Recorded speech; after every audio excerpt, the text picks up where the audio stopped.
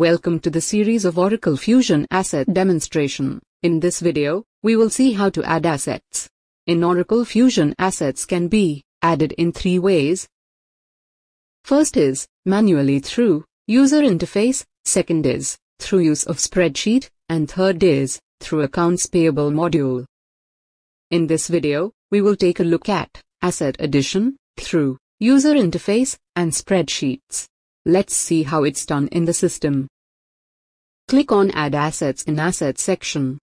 Fill various parameters like book, asset type, category, description, cost, units, expenses account, location and submit. On submission a new asset is created. In order to inquire for asset created, click on Asset Inquiry tab. Fill the parameters and search. You can also use Recent Additions button to search for asset added. Click on Asset Number to view details of the asset. Subsequently, we can also add an asset through spreadsheet. In order to add asset through spreadsheet click on Add Asset in Spreadsheet.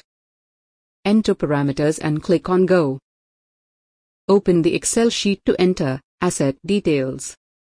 Enter details in relation to asset addition, like interface line number, asset type, description, category, cost, units, location,